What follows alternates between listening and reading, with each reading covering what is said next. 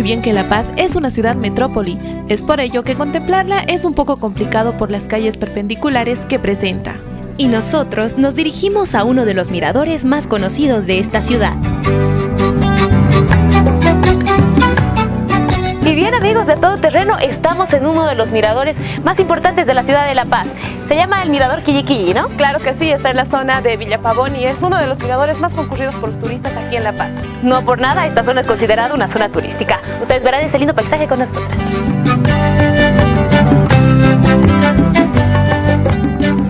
La palabra quilliquilli viene del idioma aymara que significa pájaro hermoso de vuelo alto. Y según los vecinos del lugar, antes de la construcción de este mirador, el cerro era la morada de una gran bandada de pájaros que hacían el sonido de quilliquilli, de ahí el nombre del mirador.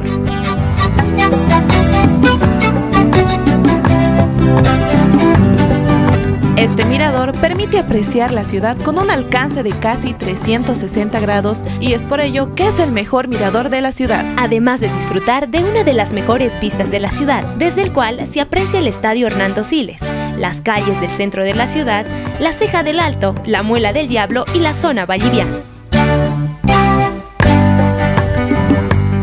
Anaí, qué maravilla estar en la ciudad maravillosa. Claro que sí, Sol, conociendo eh, fantásticos lugares, eh, la maravilla que, que, esconde la ciudad de La Paz. Exactamente, y es por eso que nosotros nos vinimos al mirador, a uno de los miradores más importantes, puesto que tenemos de acá una vista fenomenal donde veremos diferentes puntos de la ciudad de La Paz. Y estaremos conociendo además gente que la verdad nunca nos falta, ¿no? Conocer a grandes turistas que están visitando esta ciudad. Y que se pasan siempre por el camino de a todo terreno. Y por supuesto son grandes amigos ahora.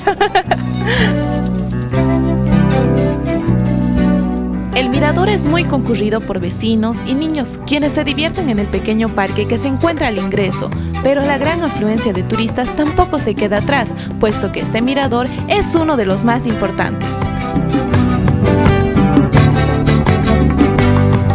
Es una ciudad muy, muy linda y me gusta mucho. Llegamos, llegamos ayer eh, soy de, uh, somos de Japón, pero, pero estudiamos en Brasil ahora, ahora sí. Uh, de ahora nosotros eh, visitamos uh, Sala de Uyuni, eh, Ciudad de Potosí y aquí eh, La Paz. Me encanta Bolivia de ahora.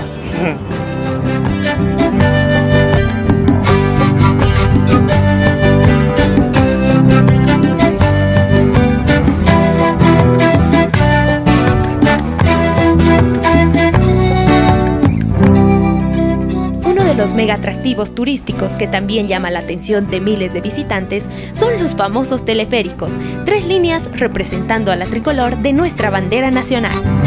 El rojo, amarillo y verde, tres teleféricos que cuentan con 11 estaciones distinguidas por denominativos originarios como Taipiuta, Supucachi y Chuquiapu. Con 74 torres y más de 30.000 metros cuadrados de infraestructura, este impresionante medio de transporte cuenta con 443 cabinas en total, con una capacidad de 10 personas cada una. ¡Wow! Eso sí que es impresionante. El costo también es reducido. Con solo 3 bolivianos puedes llegar muy lejos a corto tiempo, porque cada cabina sale cada 12 segundos. Y la atención es de 17 horas continuas, que inician desde las 5 de la mañana. Con razón, es una de las 7 ciudades maravillas del mundo.